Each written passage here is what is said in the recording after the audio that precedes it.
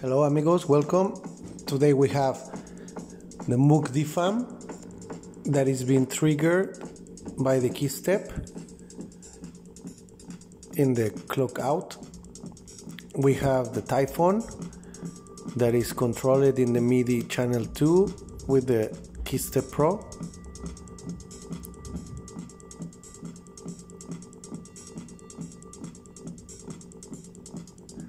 We have the blue box is the mixer. We are sending all the audio to it.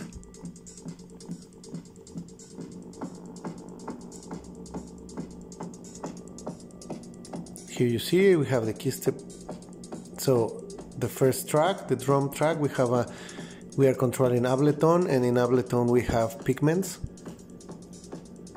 So channel 2 is for the Typhon, channel 3 is for pigments, channel 4 is for pigments, and the drum track I have a drum kit. You can see.